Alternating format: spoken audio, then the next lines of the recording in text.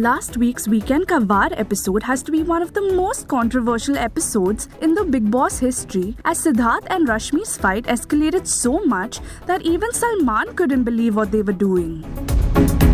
Ex Bigg Boss 13 contestant Dalljiet Kaur, who shared a good report with Sidharth, comes out in support of Rashmi. Talking to an entertainment portal, Dalljiet said that this is not the way to speak to a woman. I think Sidharth and many others have taken the show to beyond just playing a game. This is terrible.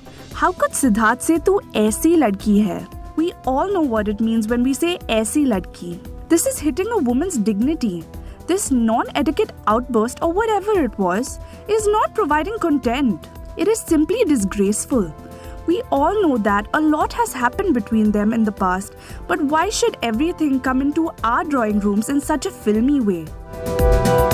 Well, we can't argue over Dalljiet's comment as she has seen what it's like to be inside the house. Let us know in the comments below what did you think about last night's showdown between Sidharth and Rashmi.